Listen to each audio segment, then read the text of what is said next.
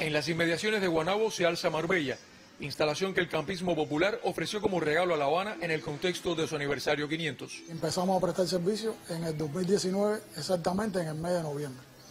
Trabajó durante los meses de, noviembre, eh, diciembre y enero y pasamos entonces a la, a la parte de la pandemia. Eh, estuvimos trabajando con los turistas que quedaron, que quedaron en el país varados.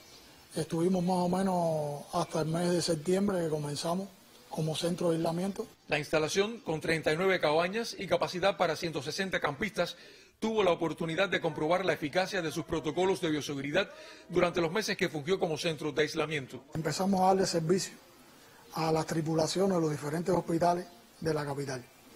Eh, se confeccionó un protocolo en conjunto con la Dirección de Salud del municipio y la Dirección de Campín, que hasta ahora no ha habido ningún trabajador contagiado. Marbella crecerá en 2021 en cantidad y calidad de los servicios con la continuación del programa inversionista.